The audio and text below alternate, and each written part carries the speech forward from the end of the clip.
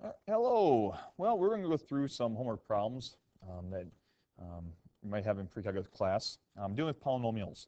And one of the key ones that you will probably see a lot of is one, and this is number 88 for my students. So if you're just doing this from outside, um, you have no idea what this is. But what we're given is an open box. This is seen a lot in calculus and optimization problems, and also and maybe in advanced algebra, algebra 2. And what you have is, is an open box and you have an open box like this, um, the old open box problem. And in this problem it says you have an open box with the locking tabs um, is to be made from a square piece of material that is four, 24 inches on a side. So each one of these is 24 inches. So it is a square, all right, 24 inches on each side.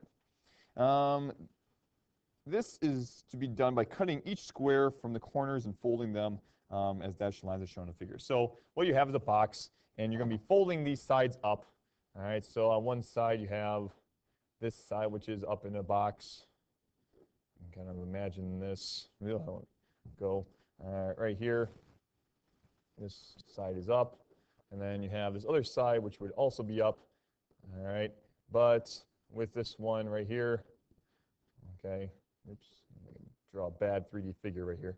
All right, then you have another flap like that. All right, and then you have this other flap that's folded up.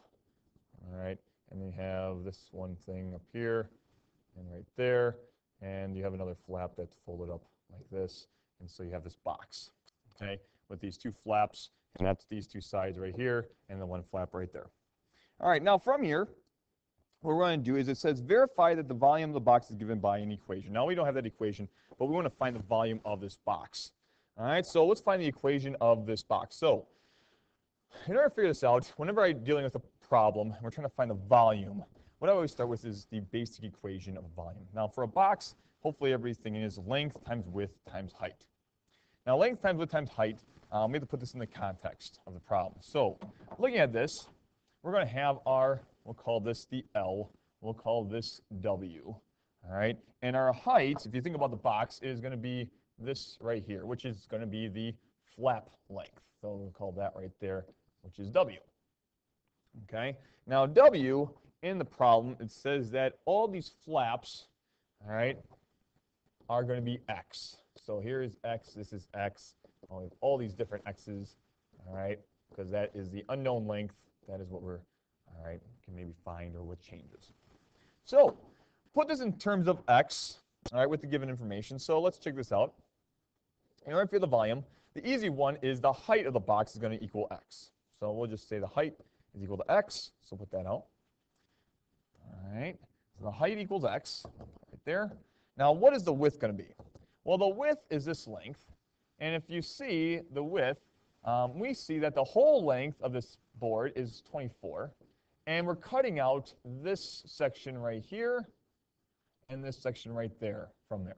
Well, what is that section? Well, it's 24 appears minus the two x's because we're cutting this one, which is 1x, and another x, so we're subtracting those two x values. So that's our width. Our length is going to be, well, we look at our length, and our length is right here, okay? And our length is, well, if you notice, we are cutting out not just one, but two x values, two x values because this is a double flap. It's a double flap. So what we have right here is going to be um, 24 minus well, one set of 2x's, and then another set of 2x's, which actually give us 24 minus 4x. And that's going to give us our length. All right, now from here, we're going to take our values and use a little substitution, put this in terms of x. So I have my volume. The volume of this box is going to equal um, length, which we found out to be 24 minus 4x, all right, times our width, which is going to be 24 minus 2x. And then we have our height, which is x. Now, with the book, what they have next is they have a coefficient. So I'm going to actually simplify this. We can factor out a 4 out of this expression. All right, this term right here. I'll highlight that. This term I can factor out a 4. And so now if I factor out a 4, I'll have 6 minus x. Um, in this new expression, I can, this one right here, I can factor out a 2. So I'll do that. When I factor out a 2, I'll have 12 minus x, and I'll have x right there. combine my terms, and I'll move this x to the front. So I have 2 times 4, which is 8. I'll put my x right here, and then we'll have 6 minus x, and then we'll also have 12 minus x, like so. And this is what usually a book will have for their answer, which is great. Okay, now, by looking at this, okay, we can now go through and finish the rest of the problem. Because generally what they ask us in the next problem, in this one, is that they ask, what is the domain of this function? Now, the domain of this function for all polynomials is generally all real numbers. However, this is an application problem. And we're going to apply some things that you might have learned um, about polynomials. In that we're going to find this domain and put it in the context of the problem. By helping us do this, we're going to first graph this polynomial. So I'm going to graph the volume in terms of x, which is the height. All right, so I'm just going to put which equals the height when we're thinking about this. So when we do this, I'm going to graph this polynomial that we have created or that was given to us right here. And we're going to plot this, um, plot the zeros. So I'm going to plot the zeros. Got another one at 1, 2, 3, 4, 5, 6. And another one at 7, 8, 9, 10, 11, 12. And we got that one right there. From here, um, we're going to look at this polynomial and figure out what's going to happen. We can do a sign chart if we want to. Um, if I plug in a negative um, 1 in here, I get negative, oops, a negative value. I get a positive value here, and I get a positive value there. So this value is actually going to be going negative. All right, and now using the, what I know about the zeros, I have a single multiplicity, so it's going to go up like this, and come back down, goes through here, then passes through there. Again, it is a third degree polynomial, so it looks like a cubic like so. Now, and I can figure out the other ones doing a sign chart, but um, knowing my graph analysis, we can draw it like this. So, all right. From here, I can look at this and put in the context of the problem. If I, my domain, which is my x values, okay, domain is the x, I can think to myself, self, um, what is what values can I plug in here? Well, in the context of prom, x equals the height. So over here, if I can I plug in negative values? No, I don't want to use any of that value. Um, if I can plug in 0, I probably can't plug in 0, so x has to be greater than 0. Because if it was 0, it would, well, mean, have no height, and also the volume would be 0. Over here at 6, I get another 0, so I don't want a volume like that. But I do have right here a volume that is positive. That makes sense. So I probably want a volume that's positive. So we'll go from 0 to 6. The next thing is I go over here and, well, notice that I have a negative volume. So I probably don't want to use that interval. And then over on this side, if I plugged in a value, which I do have a positive volume right here, which keeps on going up, but if I plug in a value that is larger than 12, like 13, and plug that into my original function, notice how I get 13 if I plug that in there. I have 12 minus 13, which gives me negative 1. Well, realize that this length right here, 12 minus 13, is actually our length of our, our box. Well, you can't have negative 1 for the length, so that makes no sense. And also the volume cannot increase without bound. Bound means it can't keep on going up forever. So this interval we're also not going to count. So our domain is from 0 to 6. Okay. For the last part of the problem, it says sketch the graph, which we already did, of the function and estimate the value of x for which the volume is the maximum. Now, looking at my sketch, I'm trying to figure out what the maximum volume is. All right, and thinking that we have symmetry, I'm guessing our maximum volume is going to be right around when x is going to equal, um, well, I'm talking about symmetry, probably around 3. Now, this doesn't necessarily going to be at 3 because it's not a parabola, but probably between 2 and 4. That's what I'm guessing that we're going to have this value.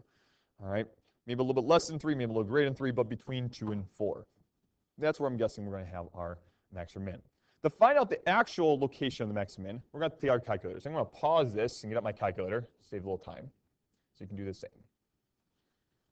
Welcome back. All right, I now have my calculator up here, and we're going to go through and solve this. Okay, I'm going to punch in my equation, so I have 8x all right, we're going to have a value of 6 minus x there for our width, and our length is going to be 12 minus x.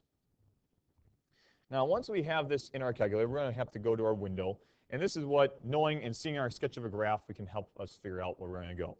We know our maximum in our domain of from 0 to 6. So I'm going to punch that in there.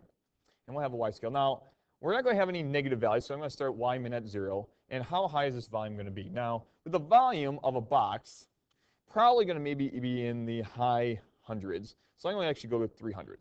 I don't know if it's going to go that high, but we'll find out and we'll do some trial and error.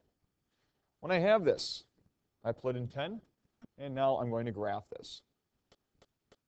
And I can see right here is that I didn't go high enough, all right? And it's coming back down right there. So let's go back to my window. And because I'm, I'm just going to go to something really outlandish, 1500. I'm going to go by 100s, see if that works. See if that's way too high. Actually, not too bad. Looks like it's working out. So we figure out our value. So I guess that our max value is going to be between 2 and 4 right there. So Getting back here, we're going to go second calculate. And we're going to find our actual maximum value. Just enter. And go to the left side of our max, somewhere over here. There we go. Press enter. And then we're to go to the right side. You're going to calculate, press enter. Press enter again. And 2.5. Okay. Well, that's definitely between 2 and 4. It's on the low end. So it's going to be 2.5 all right, and let's just round to three decimal places, 2.53636, and that would be, um, if we put it in context, the height would be 2.356 in inches, I believe. Um, yes. All right, and so that is what our height of our box or the x values that we would need to cut out to find the maximum volume. All right, so that is a problem that you would see a lot in calculus of how to find or in precalculus of how to find the maximums in application of polynomials. Hope this helps out, and uh, good luck and God bless the rest of your problems.